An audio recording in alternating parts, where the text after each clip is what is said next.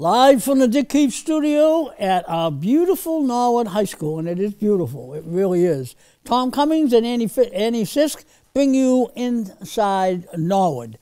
Our sponsor, J.C. Jacobs Plumbing Company, 1156 Washington Street, right here in the town of Norwood. 781 762 1600 is their number and they really do a good job. I've had them for 45 years, and they, they'll come down and do whatever you want them to do, remodeling or whatever. They really, they really are good. Uh, uh, your comments are welcome. 781-769-1478, Patriots Tom at verizon.net. If you like to, if you like to sponsor any of my programs, please give me a call. I'd love to have you. By the way, all resources that we that I receive uh, for the, my three programs go to the Norwood High School students who assist me in the production of all our shows. In addition, all of these students over the years, I've been doing it for a long time, and all these all of these students are really doing very well in the communications field of study. Now, let me get to my second page here. As mentioned a few months back, about four or five months, we will bring you up to date on our override resources. Where, we are, where are we spending our extra dollars? Joining us for the next hour or so, Selectman David Hajjar and Norwood Town Manager Tony Mazzucco and I want to welcome both back. Thanks, guys, for coming back. And uh, thanks, Tom. Happy and, to be uh, here. You know, you, I know we have a, little, a few extra dollars now. And uh, David, let's start with you. Uh, um, before we get into the resources and the money, uh, there's a big change coming at the Selectmen's Chamber. All right. Two selectmen, Alan Howard and Paul Bishop, are leaving right. in April, March into March. Okay. Yep. Any comment on that? Well, I think the biggest thing that we're losing is 18 years of experience. I think, um, you know, those that seek that seat, I'm sure there'll be qualified individuals, but there is a learning curve. I can exceed, uh, you know, speak from experience. Um, there is a learning curve, and so I'm still only going to be one year when we get two new ones. So three of us will have uh, basically less than a year, and Tom will be the mo- uh, the second most experienced with yeah. four, yeah. and then we have Bill, who is lifetime.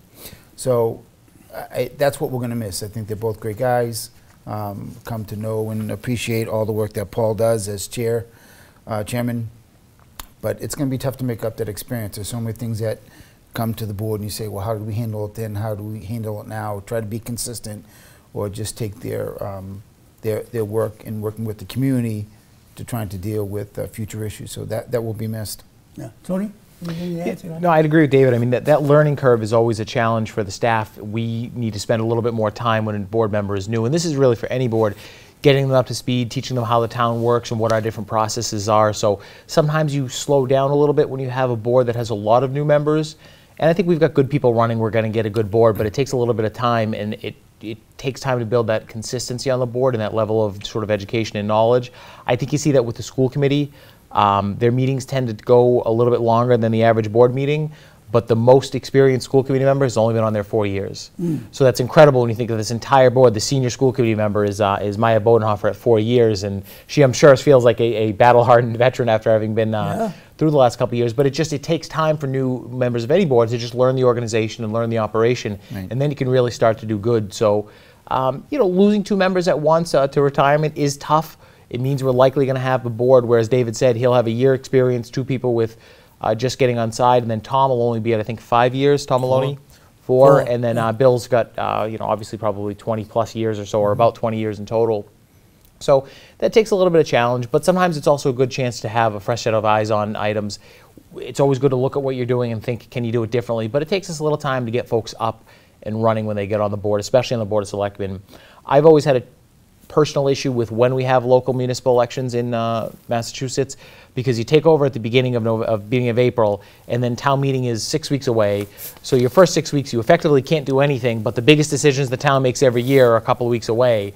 So I, in many most towns do that. I wish we could push forward to uh, elections in uh, April or in, uh, sorry in November or in January. But one of the things we're also looking to do this year um, working with Superintendent Dave Thompson and a couple of his department heads and my department heads is to do a uh, board and committee orientation in April of this year. So there'll be two sessions, and it's for every board and committee member. And we're going to bring everyone in, and they're going to go through some open meeting law training, some conflict of interest training, um, a little bit of how to work with the board or committee, and how to set an agenda, and sort of what your legal responsibilities are as a board or committee member for any board or committee. This year, we're going to add to it um, sort of job descriptions, if you will, for the boards and committees. Nice. And that's actually going to help us two ways. On the one hand, if you think about the training aspect of this, you're a new selectman, you get elected on a Monday, and then if you're a selectman Tuesday night, you, you show up and you're, you're sort of handed a packet of right, information. you it's walk like, in there, yeah, you are. Congratulations, you're a selectman, start Absolutely. making some decisions. Yeah. So we don't have a good onboarding process, but it's because we don't necessarily have time. And it's the same thing with the zoning board, with the planning board, with the school committee, where new folks come on and it's you just sort of get thrown right into it. And there are associations that offer training. The Mass Association of School Committees does great. I know all of our school committee members are great about going to it. The Mass Selectmen's Association, the Mass Municipal Association. But on the one hand, it takes time. Those aren't offered all right away. So it might be six months, it might be eight months before you can get to one of those trainings.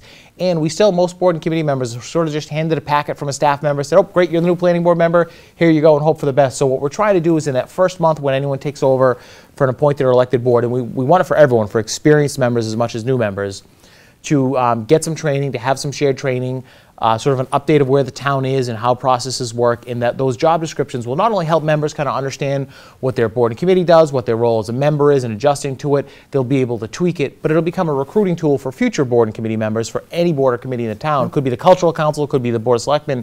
When we say, well, what does the board of selectmen do? Well, let's actually craft a document where somebody like David can say, this is what we actually do. I mean, we all read that, you know, the board of selectmen is the executive body of the town, and they're responsible for A, B, and C, but what does that sort of mean in practice, and, and who might be interested in those kind of things? So we're, we're looking to roll that out in April. Uh, the superintendent and I have been working along it, uh, along with Travis Farley from my staff and Joe Kidd from his staff. We all attended a leadership program in Cambridge this past fall, and we had to do a group project as part of it. So this is the group project. We're calling it Board 101. Uh, but again, it's for experienced board members as well.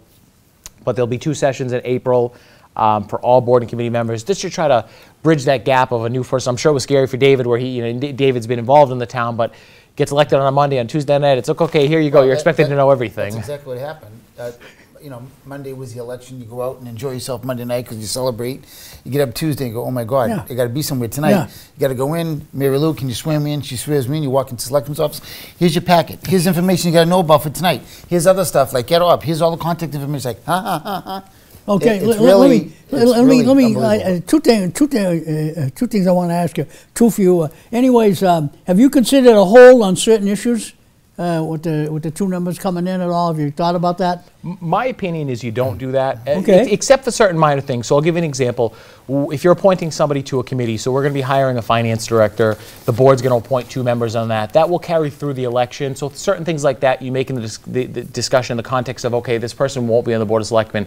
I don't really believe you should hold any issues. You're elected to be a selectman. You are a selectman until the day you are no longer a selectman. Same thing with the school committee. Same thing with the planning board. So if a decision comes before the board, you you should be voting on the decision. You're you're getting paid that big salary of zero dollars a year as a selectman to make decisions right up until the last day you're not a selectman. You should make them. Now, if you have a project that you're taking on. Sure, you may wait on certain projects, Yeah. but if it's a decision that can be made, you they were elected to fulfill that Move role until the day they're not uh, in that role anymore. Okay, Tony, you and I have chatted. You know, I've known you now for a little bit, but you really don't know where I'm coming from, because one of the one of the things you just mentioned about the election and town meeting. Okay, now I have made a lot of proposals for this town. One of them was to change. You mentioned a month. One of them was to change the election in this town to November. Okay, and I, I will bring it up again. I had it. I did. I did put a lot of resources, a lot of uh, energy into it, uh, and I spent a lot of time. And I checked around different towns. In my opinion, I still stand where I stand. Our election should not be in April. It should be in November. And there's another good reason: town meeting another good reason, and the fact that you get a very low turnout when you have an election in April, and uh, you know, and uh, it was shot down. But uh, Sure, but uh, we we may we may get into that again. Yeah, there, there's pluses and minuses to it. I, and we operate the same way almost every town in Massachusetts does, with our elections sometime in March, April, May, and then town meeting happening. So it, it is a little challenging. You get onto the school committee, and you're basically, hey, for the next six or eight weeks until we're through town meeting, there's really not all that much you can do. And then it's the summer, so you're taking time off. Same thing on the selectmen. If you have input on what the town's proposing at town meeting, it's really almost all set by the time the election rolls around. Uh, you could say that that's a good training period, but having even if you had an election in let's say a January, and you had a couple of months before you took seat, at least you could have people get a little bit more up to speed. The only downside to having it in November, and, and I conceptually would be okay with a November election period, is sometimes your local elections will become a reflection of what's going on nationally.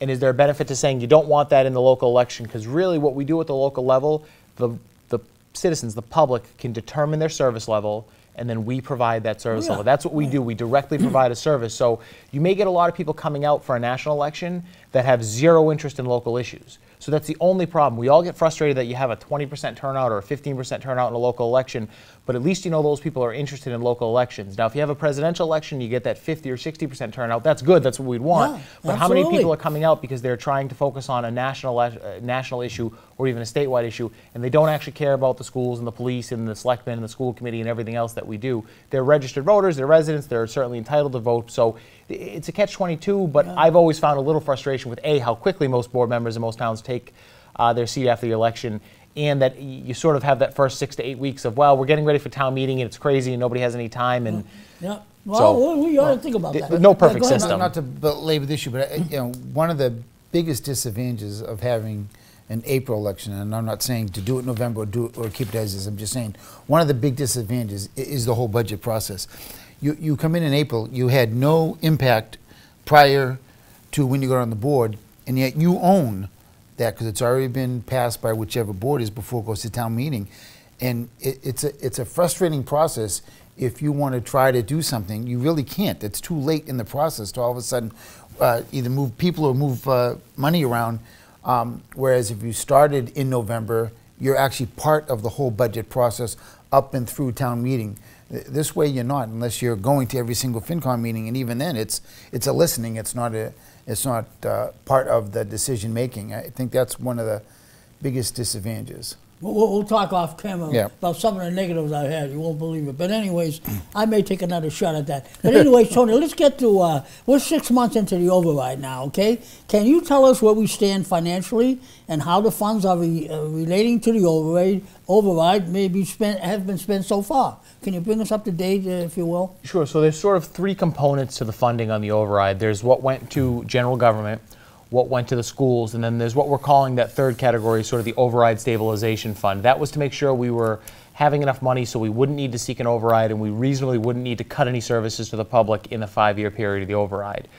So on the general government side, we added money to road paving, $250,000, and we added money to the snow and ice account to bring it up to about our five-year average. We added $300,000.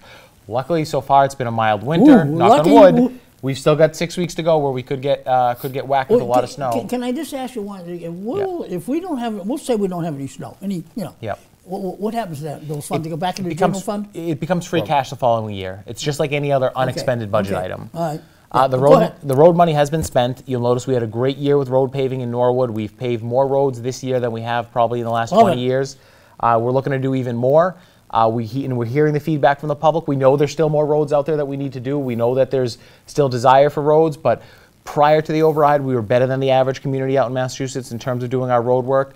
We're now getting caught up. We're going to have a proposal uh, coming forward in the next few months to borrow some money to get further caught up on roads. Really? Ooh, Next wow. year's budget will still have about a million and a half dollars in it between our state allocation and our local allocation for roads. So no matter what, we'll have a good road year next year, and we think we want to borrow some money, get caught up, and really be in a good shape. We're not quite where we want to be with annual funding. We'd be, like to be at about 1.8 million dollars a year, but 1.5 is good. If we can do a little bit of borrowing to get caught up on some of the paving, we think we're going to be in a really good position for uh, road paving. So David?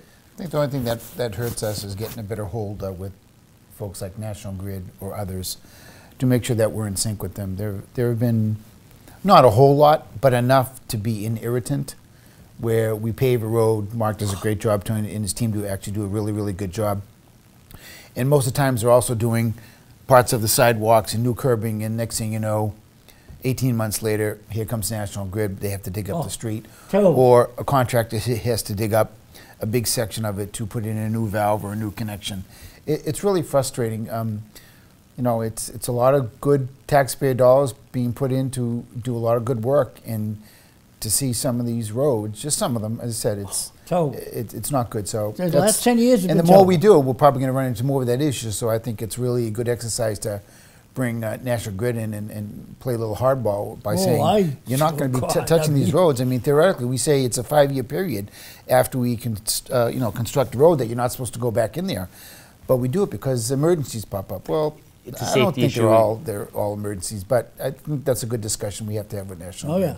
Yeah, it's very frustrating. I mean, we, we have to do it with our own water and sewer. I mean, we, we had a road last year that we paved, and uh, we found out that the sewer connections to some of these homes had not been installed correctly, and um, so they, they weren't the prop, appropriate gravity drain. So we had to dig when we think, didn't think we'd have to dig. And I know somebody could say, well, didn't you check that ahead of time? Well, you assume that things are built the way they're supposed to be built.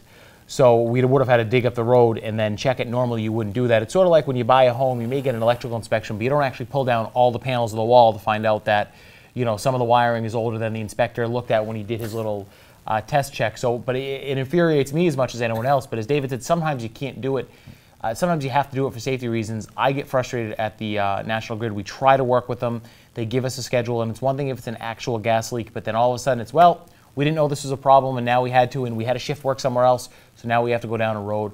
We are going to look later in the year about um, increasing our road opening permits and what we uh, what that gets costed out at uh, to try to make sure that National Grid at least thinks about it. But again, you're balancing against the safety, and I would never want them to say, well, it's too expensive for us to fix the safety issue, and then we could be liable for it. But it's very, very frustrating. What, what, do, do they have this power? Do they can just do anything? I mean, Well, I they, mean, they, they do have easements and statutory authority. And remember, it's gas lines we're talking I about know, here. So I if they know, come in I and say, hey, the gas line's leaking a little I bit, we have to I fix know, it. What are you gonna Can't do? fight that. There's no way in hell you No. can fight that. You know. Eventually, going all electric will uh, eliminate that as a problem, though. All electric? Wow, wow. That's, uh, you know. out- Although out you still, you still have water and sewer, and there again, you could put in brand new water and sewer, and just like anything else that's brand new, you could find a problem two years later, and then you've got to dig up a piece of the road that you just put it in. Or somebody fixes their house, they have to redo their line to the street. We didn't know they were going to tear down their house, and we try to avoid those things. Unfortunately, they do So happen. I'll, I'll ask a question I probably should know the answer to, but I'm not 100% sure. The override money that, if it's not spent on snow but was allocated from the override, can that go back into the override stabilization fund? Uh, we'd have to look into it. The only reason we wouldn't be able to do that is um, we'd have to try to look at moving it at town meeting. However, the state doesn't like you to decrease your spending on snow and ice. If they do, if you do it, they don't let you deficit spend. Now, usually when you report what we call our Schedule A or our schedule of uh, expenses to the state, we got to show what we budgeted one year and the next year. So we might be able to. Um, we would just have to look in and make sure that the Department of Revenue wouldn't have an issue with us transferring money out from uh, snow and ice at the end of the year. And, and uh, maybe we do it, although at the end of this year, where we are with that snow and ice budget, this might just be an odd, um, an odd year. Right. I've also thought about um, if you had anything left, do you create a sort of reserve fund for snow and ice for a future year, where you're just putting into a fund that that would be the first money that you draw down on the odd one out of every six years you don't have a um, you don't have much of a surplus, and then you'd have to look at what do you have left if you have. $27,000 left one year, is it really worth creating separate funds and, and whatnot? But that's not a bad idea. You know, last time we were together, I just had a thought. Uh, we were at the Public Works, and uh, you know, a lot of good comments on that show. Really, really worked out well. Anyways. David. Yes. Uh, pocket parks board. Uh, you discussed this recently. Uh, uh, around, we're going to have these parks around town on small parcels of land. The town owns. Tell us a little about that, please. Pocket parks are small pieces of property that the town owns through ma- different ways, either gifting or tax title, foreclosure, whatever it is. Um, and they're usually on i- within obviously neighborhoods, and we try to create parks for the neighborhoods to use. Not not big enough to ride bikes on or play ball field on, but a place for people to sit, relax, enjoy. Nice. Um, you, you clean up, you know, probably a wooded area, and you, and you put a few benches and clean it up, and, and it looks good. So uh, Tony's team did a great job in providing uh, the selectmen with a list of everything that they looked at in town that they thought possibly could be look, viewed as a, um, a pocket park. And I think we're, we're really down to a handful. I think four lots, but really comes down to three specific locations. And the next step is we haven't said yes, we haven't said no. Is let's take it to the community. Let, let's take the concept, have a generic drawing, go out and talk to the neighbors that would be impacted by a pocket park, and are, are they interested? And hopefully they are. If they're not, and there's a huge pushback, I think we have to rethink it. But we're not talking a, a whole lot of money, but I think we're talking about That's cleaning great. up, cleaning up some lots, creating better green space, and allow people to use it. I think, you know, I've met over the past week with some people who, who have an opposite opinion. They gave some legitimate issues concerning what are the types of individuals that are actually going to come use it, um, and nighttime issues and all that. So I, I think they're all good points that you have to listen to, and then make the best decision for, for that area. I mean, not all areas are created equal. Some are out, really out of the way. Some are in the middle of the neighborhood with a lot of single-family homes, and you can say, well, what's going to happen there? No, nothing really. But um, so, I- Tony? No, I'd agree. I mean, it's, it's a chance to take a look at property that we own and what can we do to enhance a neighborhood.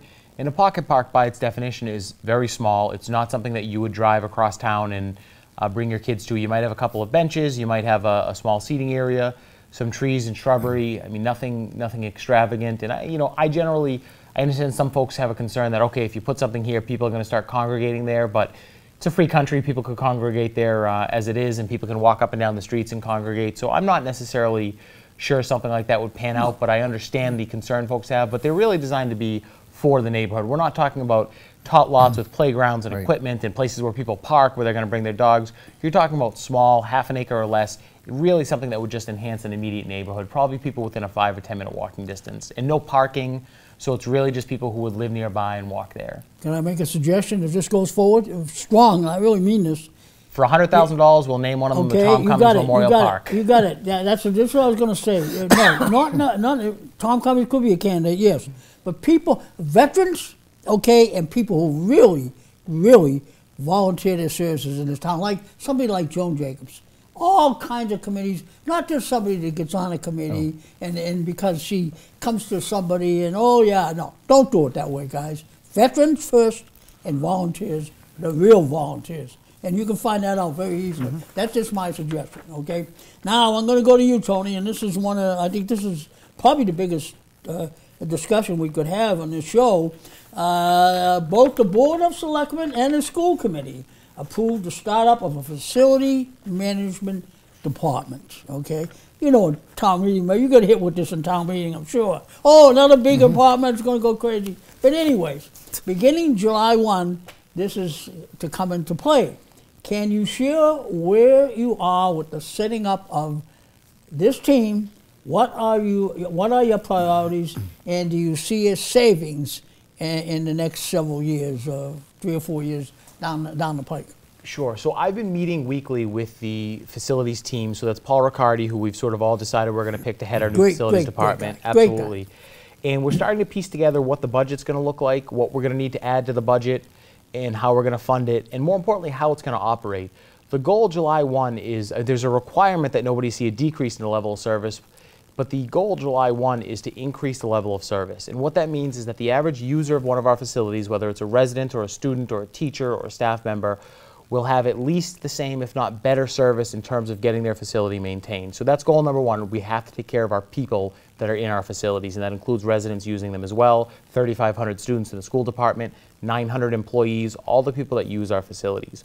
Goal number two is sort of looking at how we're maintaining our facilities and can we do it better if we do it in a more centralized fashion and we have some staff on board where we can actually do some more work in-house. And I want to talk about that for a minute because it's important. It's not just that going from contracting something out to doing it in-house is going to save us a whole lot of money. We're not just doing this to save money just for the sake of saving money. We're doing it to spend the taxpayers' money more wisely and to take care of our buildings better going forward. We have to pay prevailing wage in Massachusetts. So if I bring in an electrician, I have to pay him $85 an hour. That's Fair what the prevailing wage is. Yeah. So that's far more, even included with the benefits, that I would pay somebody in-house. So I'll give you another example. Last year for plumbing services, we contracted out about $65,000. But that was only for 650 hours of service. So a plumber, all benefits in and overtime and everything else, might cost me maybe ninety or ninety-five thousand dollars for two thousand hours of work. So are we really getting the value for what we're doing? But that's just in the daily maintenance of our buildings. That's just there's a toilet clog, there's you need a little bit of work done here, uh, you need a, a ballast replaced. That'll roughly be cost neutral. If we spend more on that portion of it, it's that we'll get a lot more labor than we'd otherwise get. And then where we're really going to see the savings by creating a department and a facilities working team is in a lot of the smaller projects, mainly on the town side, but also on the school side, where we have to contract out 100% of the work that gets done. That's where we're actually going to see savings. We're already identifying next year we're going to need to do the fire department kitchen over, and it's a commercial kitchen. Really? Okay. Yep, that's probably going to be around a four, four hundred fifty thousand dollar project. Wow. We think we can do it in house for half that. Okay. Uh, there's a panel that needs to get replaced at the alarm, at the fire department. About a ninety thousand dollar replacement cost. We think we can do it for half because we will have staff. We have to add a little bit of staff, but we'll have people in house who can get that done. Now you could say, well, all right, you're saving fifty thousand dollars, but you're paying somebody's salary and wages. Sure, but my in-house team can probably do that in a week versus contracting it out. Two years ago, we did the civic uh, bathroom over the uh, men's locker room. That was a ninety thousand dollar project because one hundred percent of it has to get bid out all at prevailing wage. By having our own team, we could have come in, they could have done the demo on that project. They could have probably done 70 to 80% of it in house inside a week. And then maybe we just contract out for the one portion we can't do in house. I mean, we're never going to do major construction. We're not going to remodel an so entire the building small or anything like that. okay. But it's all these small projects that the town does that cost a fortune. Uh, we recently redid the dispatch center at the police and fire. That could have been a project almost largely done in-house, or maybe we, we can go to doing these projects 70 to 80% in-house with our in-house staff, and then we're only contracting out the really specialized portions of it, which is what we want to do. Or if we need to bring in an electrician to do work, I maybe only need to bring in one electrician from the outside, and I have three or four guys or girls who can do the work with them instead of a firm bringing in four people at $85 an hour plus their overhead costs. So there's there's sort of the we want the users to have better buildings and better facilities. We want where we're spending money to spend it more in-house to maintain them better for a longer term outlook. But mainly where we think we're going to see the big savings over time is in a lot of the small building projects that are just croaking us. The 30, 40, 50,000 dollar projects mm. that we spend $50,000 that the in-house team might be able to get done in a week for $5,000 worth of materials. What it'll also do, because we bid out so many different projects and it all goes out through procurement, it'll save the procurement office some time. What they can then focus on is really going out on procurement more than contract administration and getting better prices for our supplies and services. They do that now, but every $50,000 project we do, they have to prepare all the bid documents. It's it a has to go through. twofold advantage here. Okay. It's actually working on a number of layers, and Yeah. where we're really going to see the savings and the challenges. Everyone wants to say, "Well, if next year the budget's ten million dollars, I want to see it go down to nine nine." You're not necessarily going to see that, but we're identifying, and we're going to have a presentation ready in the next month or so. All the projects we've done in the last five years that we could have done a heck of a lot cheaper, and going forward, how many more projects we can do a heck of a lot cheaper, as well as maintaining what we have better currently. And that's important because we know we have a middle school project coming down the pipeline. Mm. That's going to be a tax increase to fund that. And if you've seen the middle school, the building is in, in really rough shape. The elementary schools are aging. We're probably not going to be able to afford to do anything major with the elementary schools anytime soon, so we've got to keep them going. We know Town Hall needs a renovation. It can probably hang in there for a while. The building was built well, but it's an old building. It hasn't had a major uh, renovation or rehabilitation in its 90 year history. The Civic is aging. The public safety building turns 20 soon. We've got some new buildings. So our, some of these buildings we have to realistically look at before we can do a major rehabilitation or build a new building. We're going to be in some of these buildings for a long, long time. In some of the buildings where we need to start doing work, like the public safety building, it's going to be a long time before we can look at a new public safety building. We're still paying off this one. That's right. So there, there's a whole lot of other buildings in line and a lot of cost there. So this is a way to better maintain our assets going forward, as well as starting to save money where mm-hmm. we're just contracting out these projects because of prevailing wage and the procurement process that every $100,000 project we're costing out, we can probably do for $30,000 less. Interesting. David. And, and, and the other thing is, on projects where we do have to contract out, the contractor's only looking out for themselves. We're now gonna have someone looking out for our interests. Mm-hmm. So if we have an HVAC guy, and he can go and check on some of the work that an outside contractor is doing, that's to our benefit, because that person's gonna be looking out for our interest, our specs and all the rest. Whereas if you're relying on the contractor to give you an update, it's gonna be based on what they believe to be, and they're not going to criticize their own work, or they're certainly not going to tell you anything major. So I would think that that's going to help us on even contracts uh, of, a, of a larger nature, where we can send our own team in and say, hey, tell us what's going on, or we're hearing this, or we're hearing that, and um, it would be to our benefit. Interesting. Do you, do you, do you have the skills in-house to do a small portion of the work? Do you, do you have the skills? And do they have the time? we have the skills to oversee it. We're going to need to add bodies to the department to make it work better. But Okay. what we're looking to bring on is um, we need some admin support because we're going to have one department also coordinating all of our facilities costs. And right now we do it uh, by building on the town side and all together on the, uh, on the school side. So that'll all sort of get brought into one position. We'll have an assistant director who will provide some of that construction oversight. And we're looking at adding a plumbing position. We would also promote one of our electricians up, and we're going to bring on an electrician. But we're going to bring on somebody with alarm and uh, camera experience, because those are two other things where we are constantly contracting it out for anytime we need any kind of alarm work or anytime we need camera work, we're always going out. I mean, the IT department will tell you if we're running cameras in a building, just the cost of bringing somebody in to run wire is hundreds of dollars an hour. We're bring, gonna bring in, by the first year, we're gonna look to add three positions, and then we think we can convert two positions over to unlicensed craftsmen. And by unlicensed, I mean they won't be a, li- a plumber or an electrician, they'll just be sort of uh, general carpenters and rearrange some of the DPW duties to make it work in a way that we'll have that team ready to go day one. And then we'll evaluate each year, what do we add, what do we not need to add, when do we bring on an HVAC technician, do we bring on a second plumber versus a, an in-house plumber? But by doing that, we will have a team that can go right to it and start tackling projects in a lot of our buildings, and we have a lot of projects. Well- Great example of a pro- a- anywhere a project is if we had to redo a bathroom, we'd be contracting out 100% of it.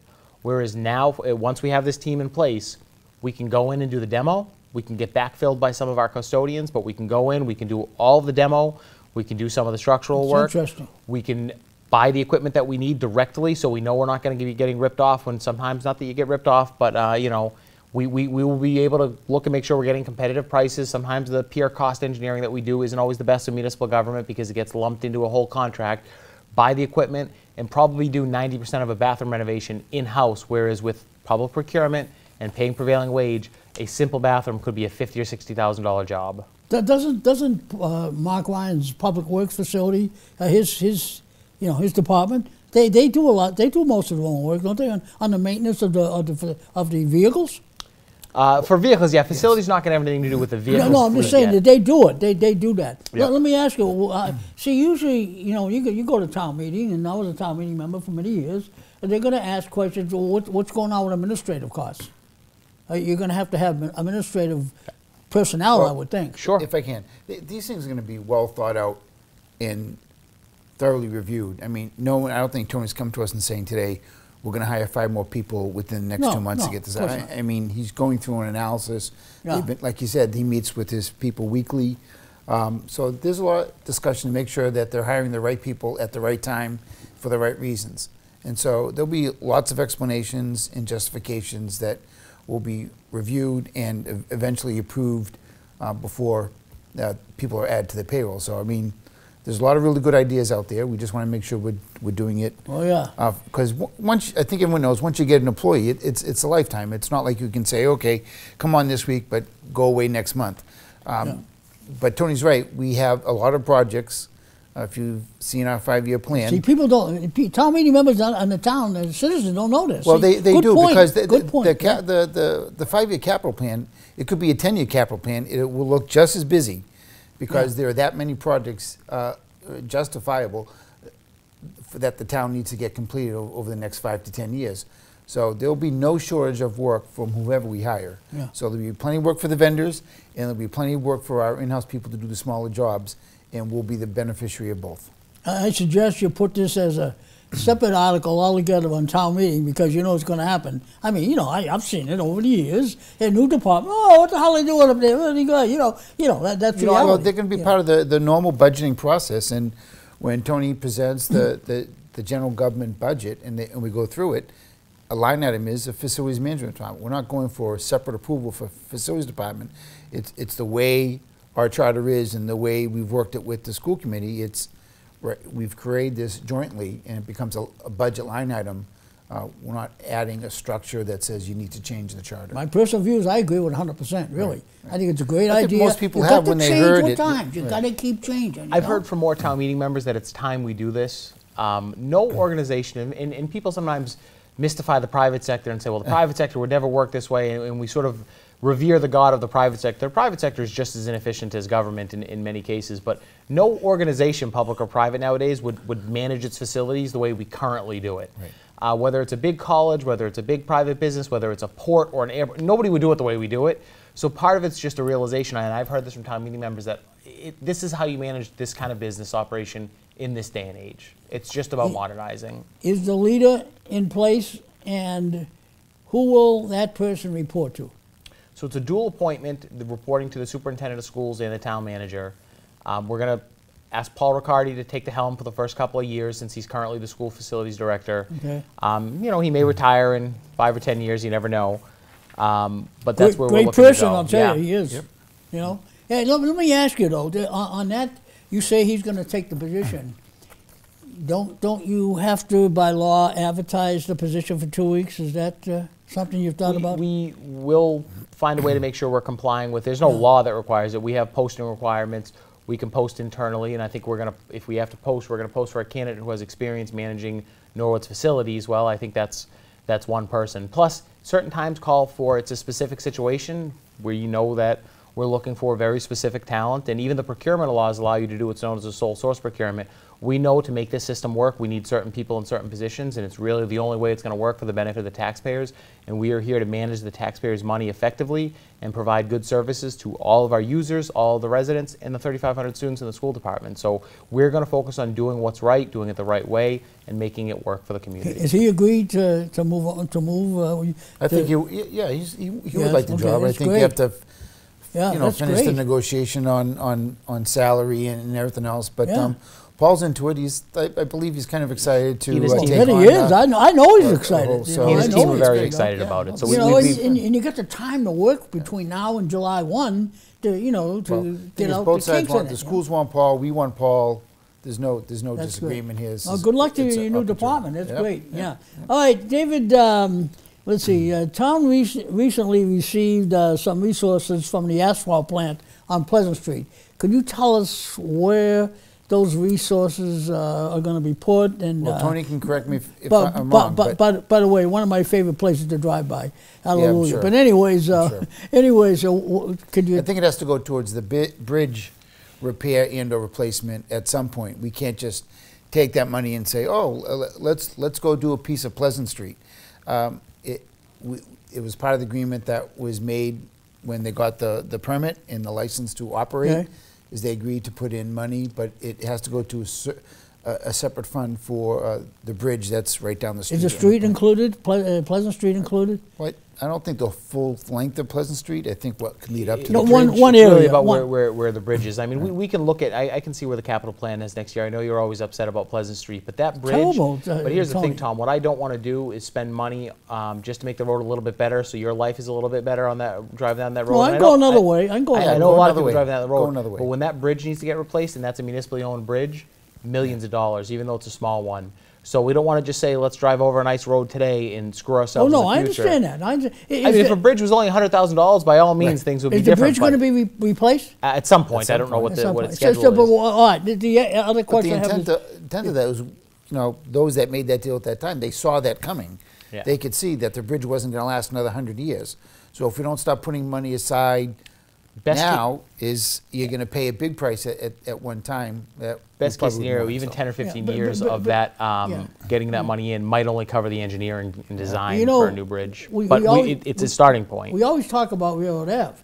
That area down there is just as bad, if not worse. That Railroad street down Ave there. is scheduled over the next year or two. What we've waited on Railroad Ave is a combination of gas work and Yeah, water okay, and sewer. So yeah. here, here's where you have a catch-22, where there are some folks who are upset that Railroad Ave hasn't been paved, but we know there's water, sewer, and gas work going Yeah, on, so we don't yeah. want to pave it and then tear it up. 'Cause Yeah, Ro- Mark Ro- Ryan was telling me about that. Yeah, Right. but, Yeah. but but again, do you uh, do you have any intentions of paving that street? No, I'm not. it- no, I'm not it worried actually about was it for on the list for last year, and Tony and Mark Ryan said, "Hold, uh, wi- there's work to be done by uh, the Public Works Department, and oh, by the way, the gas company wants to go back in there anyway." So he delayed it one year. It should be on this year's list, and if they're done with all the work that needs to be done, it will be on the paved list. Otherwise, it will wait. But it is at the top of the list. What, what's in that building right beside the uh, the uh, the asphalt plant? Is, is it empty?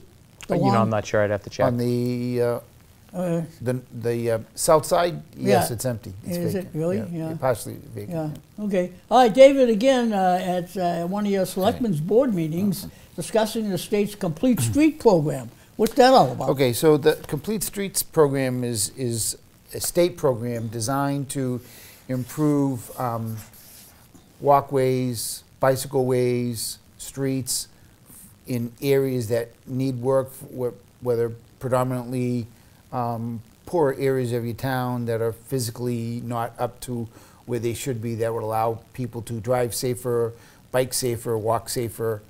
Um, and the opportunities with the state program is you're eligible for up to $400,000 a year that could be Nice. applied towards programs. So part of what Tony and his team had to do is um, there's a template that you fill out, the Department of uh, Transportation, DOT, and um, there's criteria for what qualifies as a complete streets program and what would favor us.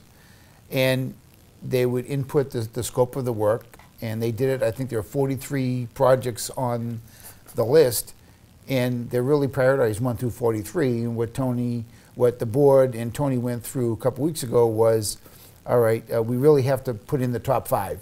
So, because you're only going to do, unless we decide to do more, one, one project a year. Um, if it costs more than 400, then the town would have to supplement the funding. But in any case, you know, they want to see five years' worth of projects or your top five projects. And that's, we, we're almost in agreement on what those top five are. And when we do, we will submit it to the state. And um, as long as it meets their criteria, we are up for 400, up to $400,000 Nice. of a grant. No, it's, it's very good. Add to that, Tony? Yeah, it's a grant program. It's one of the programs that we want to make sure we're aggressive about. I made sure the DPW started looking into it a year ago, that there is money out there for projects we want to do in town. And yes, there may be a local uh, share required, but if we can get $400,000 for the state for us putting in 100 or $200,000 of our own money, that's still a pretty darn good deal for work we'd like to do anyway. Nice. Nice Absolutely. dollars available. Hey, let me ask you, A- Access Road and Neponset Street. Mr. Collins has asked me uh, a couple of times, asked you guys, uh, are you going to change the, I guess it's a, I don't go there that- that often, but it's, you're going to put a light, lights, regular lights in there? Have you thought about that? I think No? we've gotten a request. I don't know if there's anything in the, I- Okay. I'd have to take a look because we often all refer to projects differently. But one of the challenges we face with traffic is you have to design your road network to flow the most amount of cars on the busiest street. Of course. So the problem folks get into is they say, hey, I get to the street and I want to cross and, you know, a thousand cars go this way and I can't go this way. Well, that's how it's supposed to work. And I know that frustrates a lot of people, but oftentimes folks want to be able to get from point A to point B, but you've got to move the most amount of cars in the shortest amount of time period. So that's why sometimes we end up not doing what seems like it makes sense to folks or seeing what they want because we have to move the most amount of cars. We get it with Nahatan Street a lot of times and Washington Street. People will say, geez, why can't I cut down this part of the street here and I can never seem to get across? You have to move the most amount of cars. If you have a road where 4,000 cars go this way in a day and 40,000 cars go this way in a day, you got to design the traffic to move the have to do, 40,000, right? not the 4,000. And I know that's unfortunate. You- School time, traffic, and the, the whole region is sort of swimming in traffic is, and it's yeah. frustrating. But nothing we do reduces the number of cars on the road. Mm. So we just try to keep the most cars moving the most amount of time as we can. And it's not always perfect, but Right, and what, what the studies have shown for uh, Neponset Street itself, where, where it meets that light on access road, is that Yeah. what you're referring to? Yeah, Near the yes, airport? yeah. So unt- until the roadway in Canton that leads uh, closer to, uh, into Westwood, until that road across 95 is built so traffic can go on and off that area, right now, it can come off that bridge onto 95, but they want to make it so you can go both ways off of 95. That would alleviate some of the traffic coming down to Norwood, then going back down Route 1 in, into, uh, into Dedham and Westwood, so.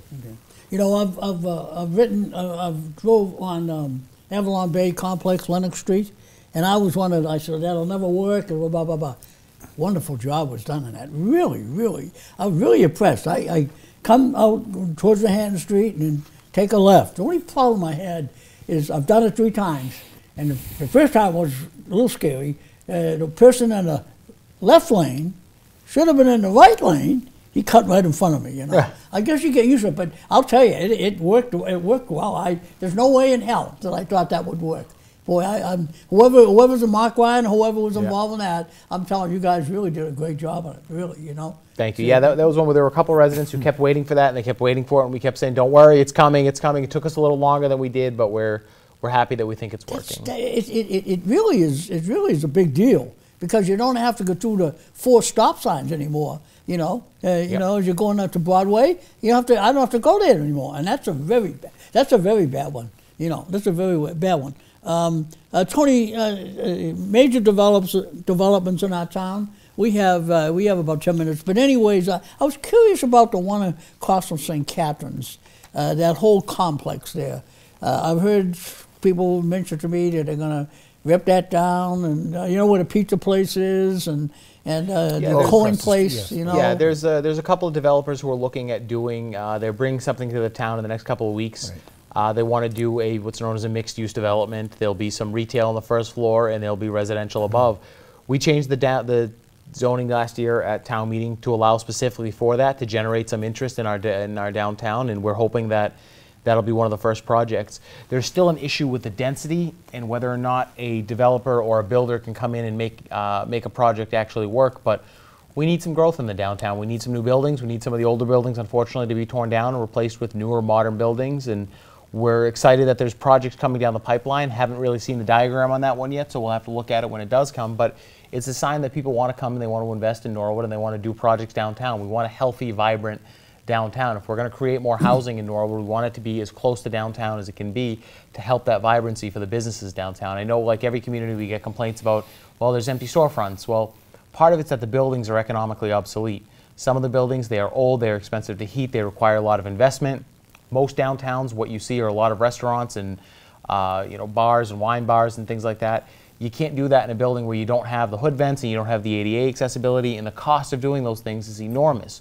So some of the buildings are going to need to come down, re- be replaced with more modern, energy efficient buildings, and you're going to need people living downtown. That creates the foot traffic that you need for businesses to be successful. You know, I only drink Bud Light, but uh, that beer hall in the middle of town, in the middle of town, you may think about it. I'll tell you, because it works out of my where my son is. It's We'll, we'll see if we can get your a We'll- brewery we'll- downtown. Yeah, no. We'll mention it to the developer. Yeah, Yeah. well, I, I, you know, now let, let me tell you, my son and I, when he's in here last time, we went down to um, Moore Street, that little pub down there, on a Friday night. You talking About about Percival? I don't know the name of it. Uh, that's a, it's a little bar, a little, a little brewery. They make their own beer. Percival. Oh, Yeah. yes. At We the Space there- Center. We went there, and we went there on a Friday night at 5:30. When we walked in, you know how many people were in there?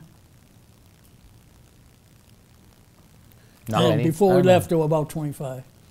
It's Now- a small place. they're not complaining. Wow, let me tell you something, Tony. If you were at Staple in Colorado or, or wherever, on a Friday night or any other night, it is driving, believe me. I'm just throwing that out. You know, think about it because it, it, it you know, you got Avalon Bay, and as Avalon Bay fills up, okay, I, I've mentioned this to Mark Ryan a couple times. You got the bridge. He was very instrumental in getting that bridge done, you know, and you light it up a little bit, and people don't have to drive their cars from Avalon Bay to a nice little place downtown in the middle of town, and they can walk back. And there's no, you, you want to have a few beers, you can do it without having any problem, really. So something just to think about. You know, something in the future. It's coming. That that that that, uh, it's, that whole thing is going to change, but it's just an idea. Hey, how about the um? What, what's happening with Ford, Forbes Hill? Uh, yeah, Forbes Hill. Anything anything going on there? Well, we're, I think that there was a statement either made uh, by uh, Chairman Paul or Tom Maloney, those that are closer involved, but we're still uh, negotiating with a, a potential e- extension of it, um, but it's still up for discussion. So I don't Okay. think there's, no deal is dead yet, but um, I I would say stay tuned in the next few weeks. We should have a better um, understanding. Still on of- hold though. It's not lost. It's, no, no, it's definitely Okay. not lost. No, Yeah. no, it's definitely not How, lost. how about Mo- Moderna? Moderna. How They're about that? expanding. They actually just this month pulled two more building permits for their uh, new expansion up there. So they're they're building and redeveloping and bringing on more jobs, and they're living up to their end of their uh, TIF agreement. We're doing. which will be their third permit this fiscal year. They took one out Really? much earlier for like $140,000, the largest Yep. one this year, and now they've just supplemented it with two more. So yeah. Really? Think I could get them to sponsor my shows? We're, we're asking them to sponsor a few other things. So Yeah, you, you know, yeah, yeah. Um, how about the skating rink, Boston skating rink? opening in July. We Is it can't real wait. good Yeah. information? They're wow. uh, they're going to have about 10 to 12 events a year that will require 2,500 hotel rooms. So they actually Oh, have- my gracious. They're actually con- they're going to co- Wow. contracting with 30 different hotels in the area. How so many times a year? About 10 to 12 times a Wow. year, every hotel in Norwood will be completely sold out, uh, as well as hotels in every surrounding town, specifically every for the restaurant will skating be club. booked, and, and every Wow. store is going to have uh, business generated. So this is great, great news. Boy, that's that's that's a, that, that's that's huge. Mm-hmm. That's huge. Uh, any, anything you guys want to uh, you want to bring up? We have um, I don't know. She tells me ten minutes. I say I have uh, about four minutes, but uh, you have, uh, you know, she, she's, you know, she, you know, uh, An- Annie's on the, uh, on the, you know, she, she's a cheerleader, and that, and that's awesome. She's a cheerleader, and she, and she does pretty well. Anything you guys see on it? You want, you know, uh, how about Route One? You're gonna, you're gonna do something with Route One. Uh, uh, you have, you're working with the planning board and looking uh, at the zoning along Route One and uh, lot storage around town. Yeah, there'll be a proposal coming from the planning board at the town meeting for the spring town meeting in May, and it'll be looking at rezoning Route 1. And really what we're going to try to do is see if we can unlock the commercial development potential of Route 1. One, it's important that we do that because right now Route 1's actually only about 20% of our tax base. And if we go back in time, it was actually a bigger portion of our tax base. And because the residential values are rising so rapidly in this part of the state, over time, what's going to happen is you're going to see those residential tax bills go up, up, up, up, up, because the residential portion of the tax base is simply more or a larger portion of the tax base than it's ever been, whereas Route 1 in the commercial portion is going to dip down a little bit. So we need to look at what we can do to unlock that potential to keep Route 1 at least where it is as a portion of the tax base, if not grow it a couple of points, which helps ease the residential tax burden. So the goal is going to be that's where we want our large scale growth and development. Let's put it there. Let's see if we can get hotels there, allow some housing there, allow some mixed really? use, allow wow. some. You're uh, woof. If we don't, What- if we don't, what's going to happen is as residential values rise and Route 1 becomes a smaller portion of the tax base, you're going to see your residential taxes go up and up and up. And it doesn't mean the town's making any more money, so we're not adding any services. It's just going to tilt more because residential values are growing really 8 to 10% a year. Commercial values don't grow the same way, so we've got to add to what's already there in the commercial base to be able to maintain that split and keep the tax rate fair for residents. That, that's exactly right, and that's the only stretch of land that goes from one end of town to the other end, where it's all, it's all basically commercial. I, Yeah. I put in industrial and all that is, in manufacturing is all indu- uh, commercial. There's no residential there. I mean, that's the biggest wh- piece wh- of so properties that we have that can be exposed to a potential generation of additional development. Would, would would you put apartments there too? No, no. If a developer wants to go in, why not? I mean, you, you got to look at the context of where, um, what type of development you're looking at. A good mixed-use development would be something like Legacy Place, and I don't think we have the space down there. I don't think you'd have the retail capacity. But Legacy Place, you wouldn't call residential, but it's truly a large-scale, uh, single-level mixed-use development where you have a residential component, you have a large commercial component, and then you have your mid-grade commercial. That's what we want Route 1 to look at. So if it fits in the picture, that's where you want to drive to. You want those people downtown, or you want it on Route 1. You don't want it in a neighborhood necessarily, but you look at how can we unlock the growth potential of Route 1 and keep it at at least that 20% of the town's tax base, or hopefully even grow it, because that's where we can fit it. See, I, I'm, I'm not always, I, I gotta go, Dave. Yeah, I I'm not always right, things- I'm not always right, but I'm never so- wrong, see? One minute, see, I was right, see, there you go. Okay, I hope you liked our show this afternoon. Annie and I want to thank you all for watching. Our sponsor, J.C. Jacobs Plumbing and Heating at uh, 1156 Washington Street. Their number is 781 762 1600. If you would like to appear on any of our shows or have a comment, 781 769 1478. Patriots Tom at Verizon.net.